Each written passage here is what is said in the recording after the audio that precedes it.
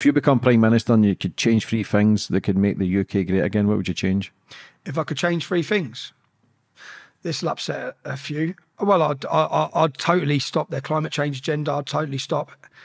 Again, I'd stop open border immigration, um, and I'd send every one of these men in these hotels out of our country.